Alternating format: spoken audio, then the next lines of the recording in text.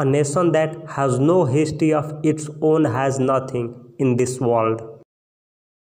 Society does not go down because of the activities of criminals, but because of the inactivity of good people. As soon as I think that I am a little boy, I want to preserve it, to protect it, to keep it nice at the expense of other bodies, then you and I become separate. Who makes us ignorant? We. We put our hands over our eyes and weep that it is dark.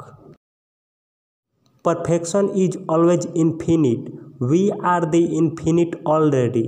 You and I and all beings are trying to manifest that infinity. Education is the manifestation of the perfection that is already in man.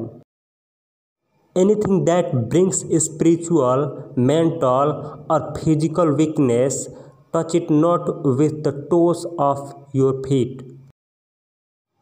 Don't look back forward. Infinite energy, infinite enthusiasm, infinite daring, and patience, then alone can great deeds be accomplished. It is a meditation that brings us near to the truth than anything else. The concentrated mind is a lamp that shows us every corner of the soul.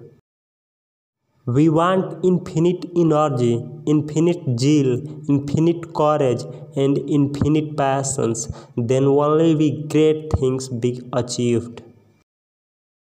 Bless people when they revile you. Think how much good they are doing by helping to stamp out the false ego. Lack of unity and organization is another reason for the destination of our society and nation.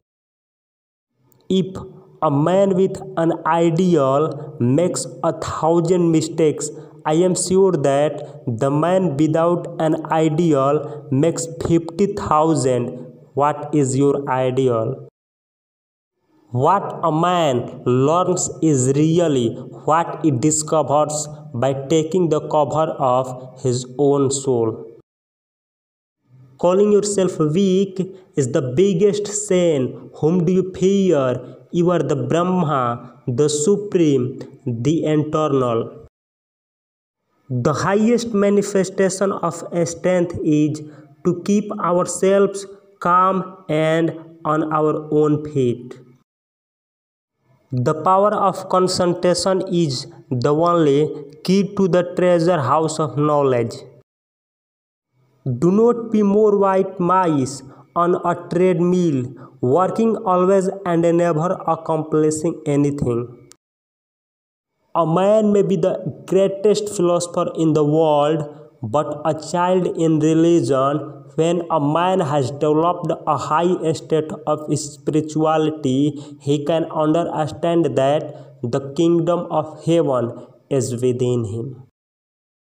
A tremendous stream is flowing toward the ocean, carrying us all along with it, and though, like stars and a scrap of paper, we may at times float aimlessly about. In the long run, we are sure to join the ocean of life and bliss.